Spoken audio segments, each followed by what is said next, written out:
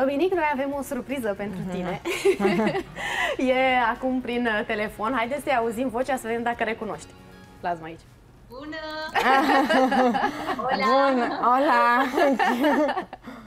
¿Qué tal? Bien, ¿qué tal? ¿Por qué no me dijiste nada? Hombre, era una sorpresa. Hai că poate nu ne înțelege nimeni acum când vorbim noi spaniol. Da, eu, eu îmi pare rău o să încerc, dar româna nu... Adică vorbesc da. mai, mult mai bine spaniola sau engleza. Încerc. Pentru că Alexandra tot, știe.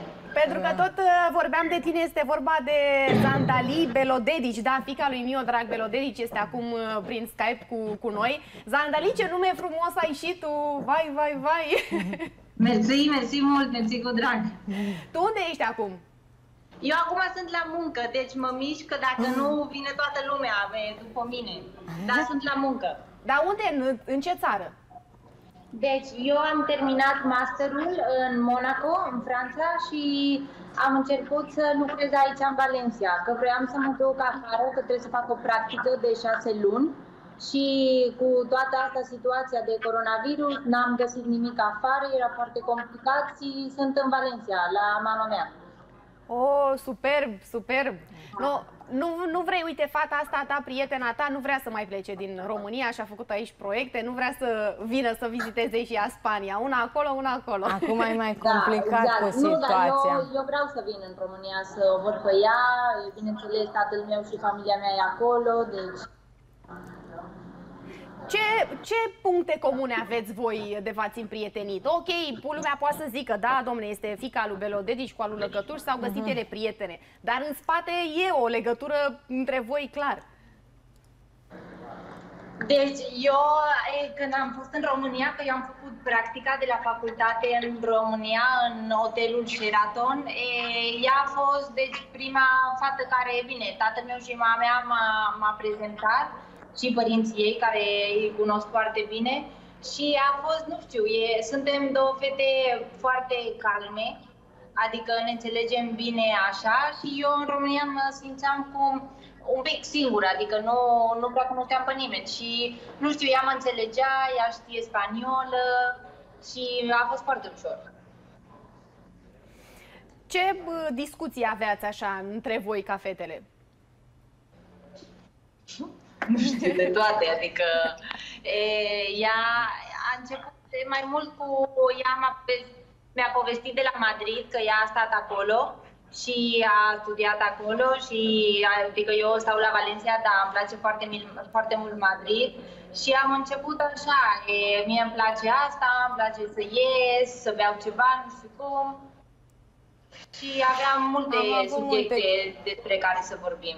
Da, ne-am ne știam bine, foarte mici, niciuna nu mai își mhm. aducea aminte, dar după ne-am înțeles bine de zi cu zi și ne vedeam des, am încercat să se simtă cât mai bine în țară și așa Și când e, de când eram mici?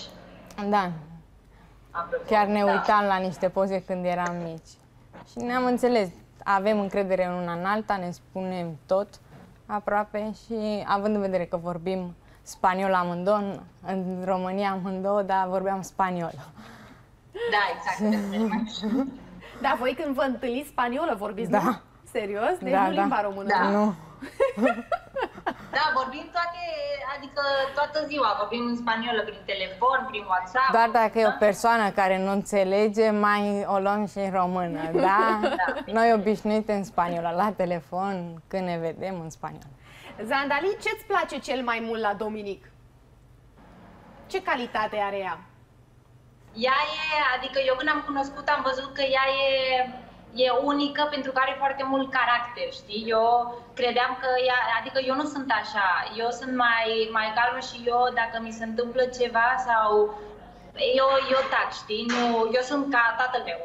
El e foarte, adică bun, liniștit, el nu spune. Tu trebuie să-l împingi foarte tare ca să sară la tine, știi? Mm-hmm. Dar Alexandra ea are un caracter foarte, foarte puternic și asta e foarte important și când încep munca, că dacă, adică dacă taci din gură, te mănâncă, știi, lumea.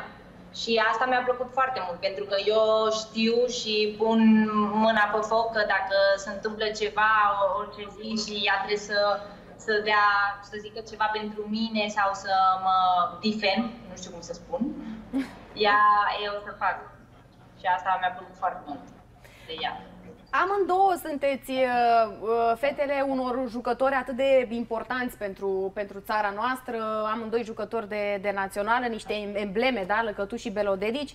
O să te întreb pe, pe tine, Zandalica, să te lăsăm să, să te duci să-ți continui munca. Suntem recunoscători pentru că ai acceptat să întrerupi pentru, pentru noi. Cum a fost să porți numele acesta de Belodedici? A fost greu? S-au deschis ușile mai, mai repede? S-au închis poate mai brusc? Cum a fost pentru tine? Pentru mine aici în Spania, eu nu cred că am simțit așa tare ca, de exemplu, eu cred Alexandra sau fetele alți jucători, pentru că aici în Valencia e, Papabelo îl cunoaște multă lume, dar nu așa mult ca în România.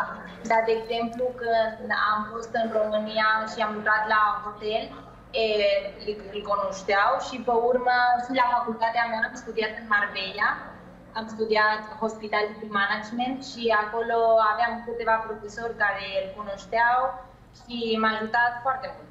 Când am făcut și e, când am venit și la masterul, nu credeam pentru că în Franța nu știam, nu știam eu că era așa cunoscut internațional și, și la masterul îl cunoșteau și până la urmă, nu știu, să, să mirează, știi? Mm-hmm. Deci, Dar nu, nu, mi-a, nu mi-a fost greu, adică nu. Eu sunt foarte proud de, de tatăl meu și de ce a, a făcut și, și asta. Da, și probabil că asta te-a ambiționat și pe tine, să duci numele acesta mai departe cât de frumos poți tu. Da. Da, Super. chiar că da. Zandalis, mulțumim mult de tot pentru că ai acceptat. Da, da, te așteptăm și pe tine aici la emisiune când o să revin România. Da, poate facem și eu când trece tot asta. Exact. Facem o emisiune toate trei. Dacă vrei să mai spui tu ceva în spaniol, în turcă, în franceză. Hablamos cuando termine. Bine. Un beso. Vale, suerte. Bine, vale foarte bine. Mersi foarte mult. Mulțumim mult de tot, Zandali. Zi frumoasă. Pa, pa. pa Ceau. Ei, ți-a plăcut surpriza? Da, nu mă așteptam, n-am vorbit cu ea zilele astea, foarte puțin. Și chiar nu mă așteptam să fie ea. Nici nu știu cum s-a ajuns la ea.